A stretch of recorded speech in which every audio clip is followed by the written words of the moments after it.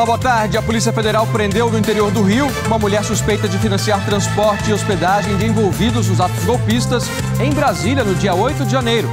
Novas imagens mostram o trabalho dos policiais legislativos que impediram a invasão dos bolsonaristas radicais no plenário da Câmara.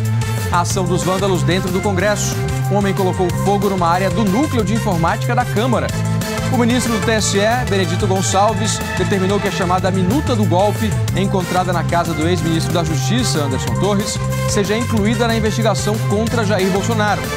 No Fórum Econômico Mundial em Davos, o ministro da Fazenda, Fernando Haddad, disse que o país pode zerar o déficit público em dois anos.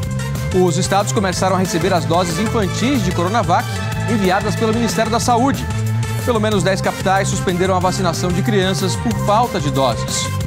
Em São Paulo, um trem metropolitano saiu dos trilhos quando uma enxurrada invadiu a cabine do condutor.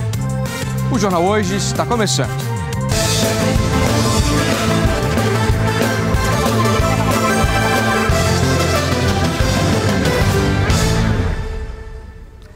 O jornal hoje começa com o flagrante do momento em que um trem metropolitano sai dos trilhos depois que a cabine é invadida por uma enxurrada durante um temporal. Foi durante uma tempestade que caiu sobre a cidade de São Paulo.